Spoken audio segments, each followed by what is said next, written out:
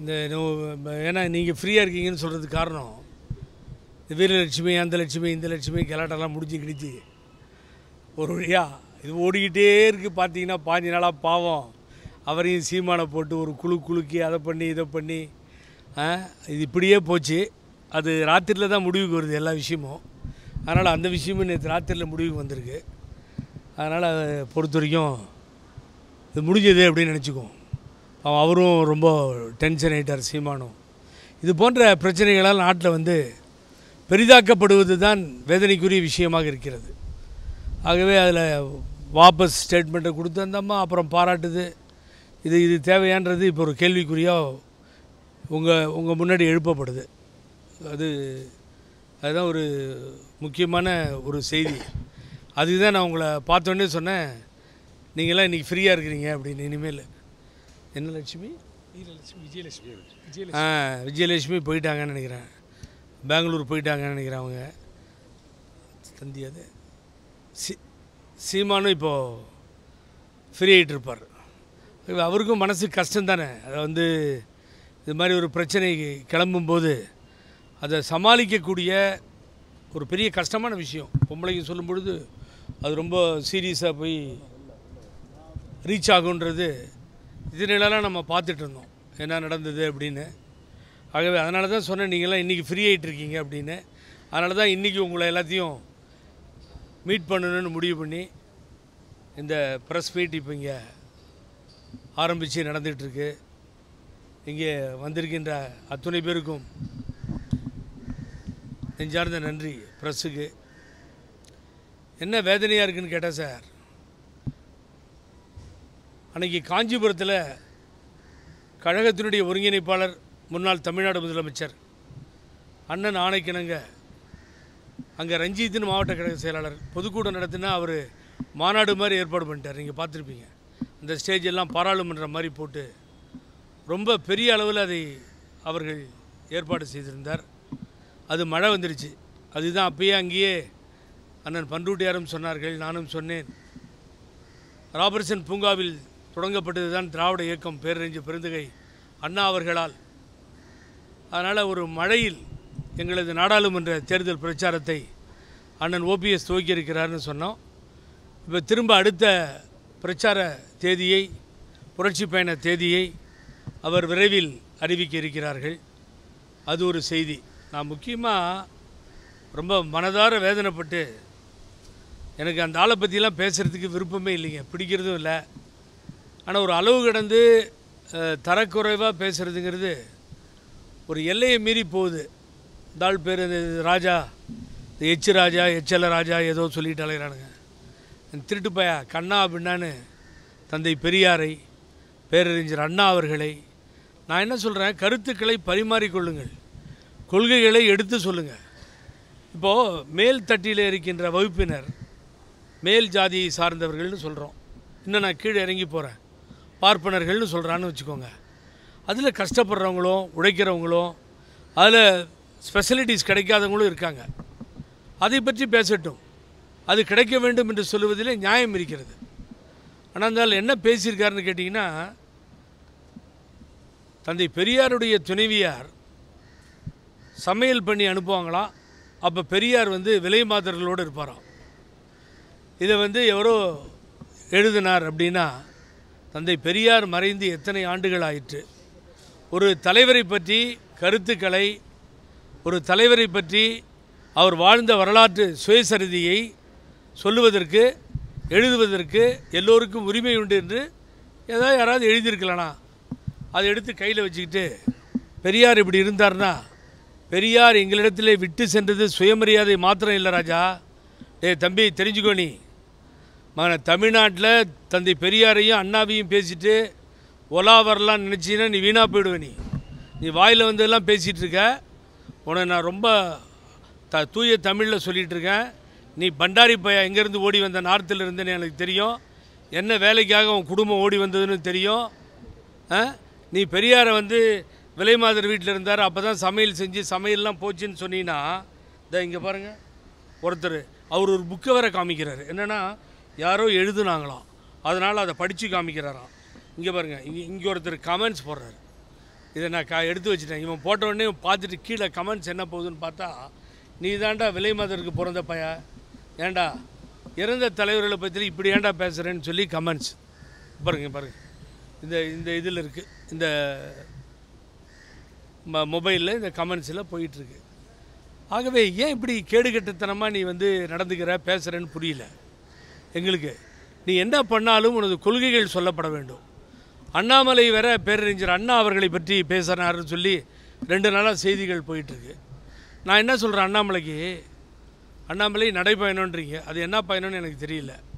அன்றைக்கே நீங்கள் வந்து அம்மாவை பற்றி பேசுனோடனே கழுதிக்கு தெரியுமா கற்பூர வாசம் அன்னு எங்களுடைய ஒருங்கிணைப்பாளர் அண்ணன் ஓபிஎஸ் சொன்னார். அப்போது இப்போ நான் என்ன சொல்கிறேன் அண்ணாமலைக்கு? நான் முதல்ல ஒரு வேலை பண்ணிவிடு உன்னை தினம் அண்ணாமலைன்னு கூப்பிடும்போது மூன்று எழுத்து முன்னாடி நிற்கிது அண்ணா அப்படின்னு சொல்லி. அப்புறம் தான் மலை பின்னாடி வருது. பேசாமல் அண்ணாவை எடுத்துட்டு அண்ணாவை எடுத்துகிட்டு மலைன்னு வச்சுக்கோ. இந்த மலை அந்த மலை ஏதோ ஒரு மலைன்னு வச்சுக்கோ. அண்ணா பேரை பயன்படுத்தாத உன் பேருக்கு முன்னாடியே உங்கள் அப்பா வச்சுட்டு போயிட்டாரு. அண்ணான்னு. ஆகவே இறந்த தலைவர்களை பற்றி ஏன் பேச வேண்டும்? எத்தனை காலமாக என்ன பார்க்குறீங்க? நான் கலைஞரை பற்றி தவறாக பேசுகிறதே இல்லை.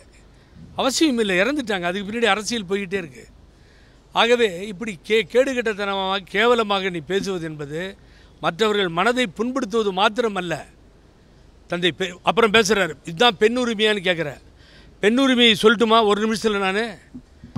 கணவனை இழந்த விதவைகள் வெளியிலே வர முடியாத நிலை தமிழகத்திலே இருந்தது.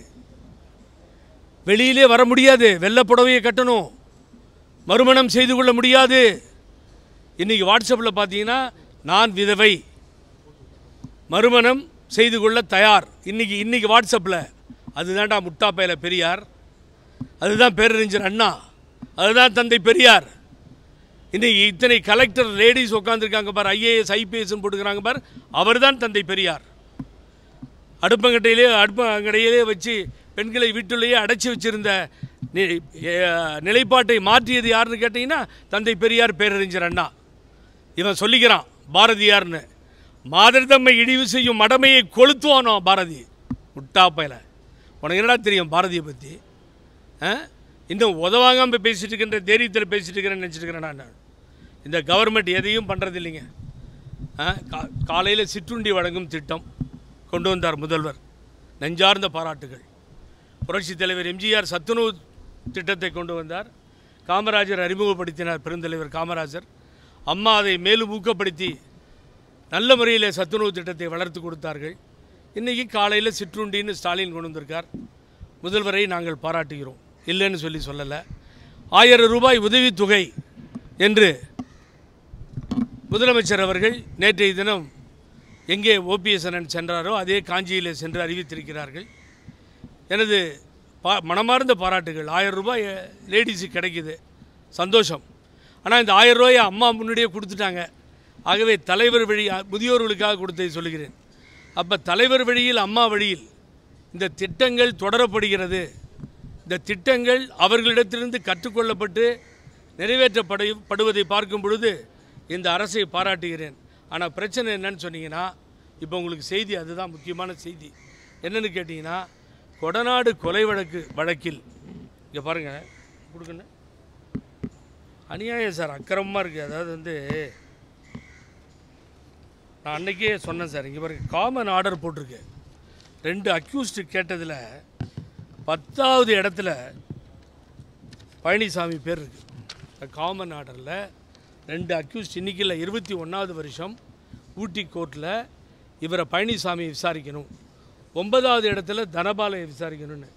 இப்போ இந்த சினிமா படத்திலலாம் கத்திட்டு ஓடுற மாதிரி தனபால் ஓடுறார் எல்லா இடத்துலையும். நான் சொல்கிறது கேளுங்க நான் சொல்கிறது கேளுங்க.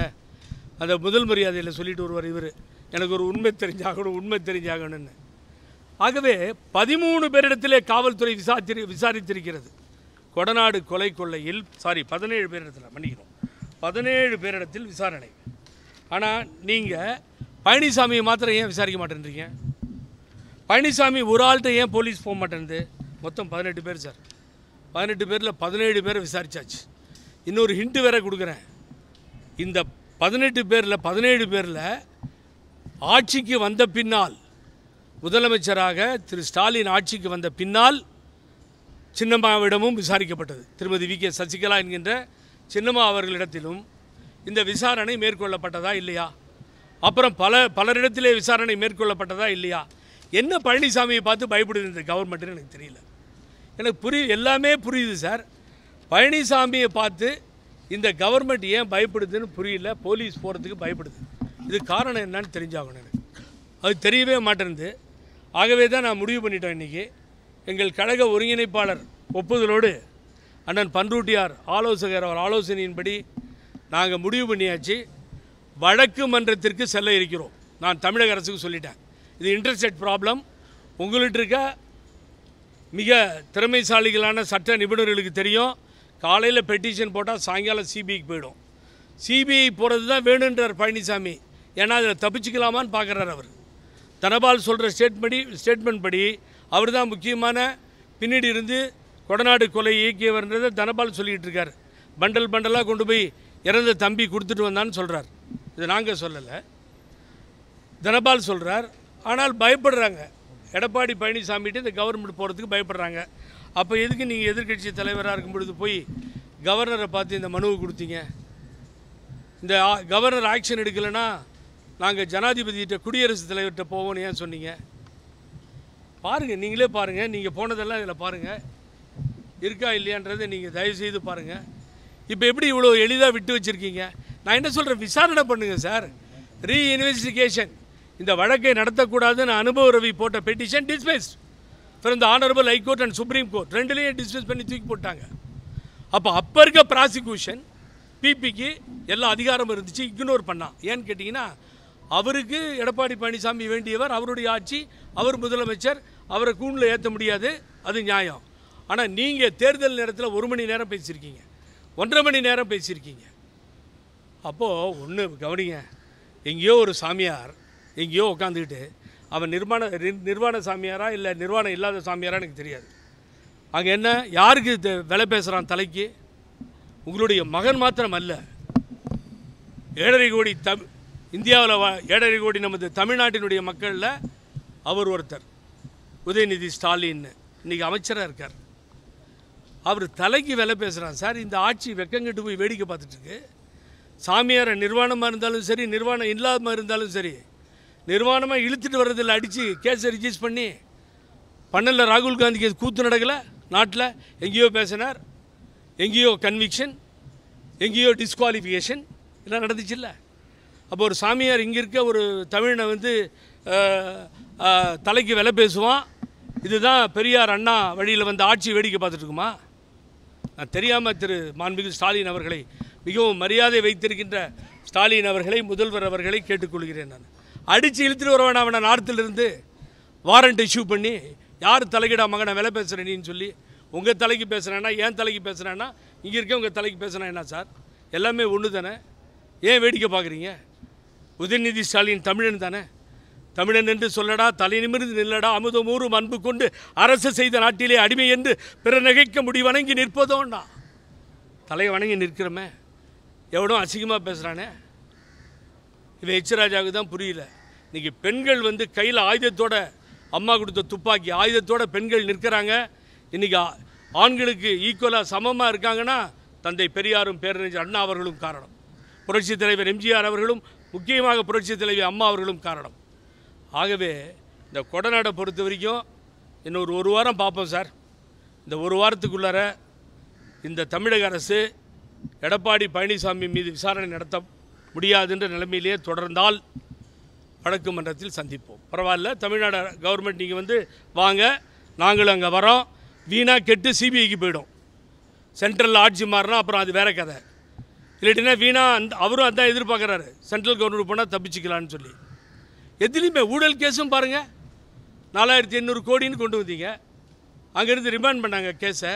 ஒழுங்காக சிபிஐ கையில் இருந்துச்சு அது. வேண்டாம் வேண்டாம் நாங்கள் விசாரிக்கிறேன்னு கொண்டு வந்தீங்க. முன்னாடி இருந்து விசாரிக்கிறதா?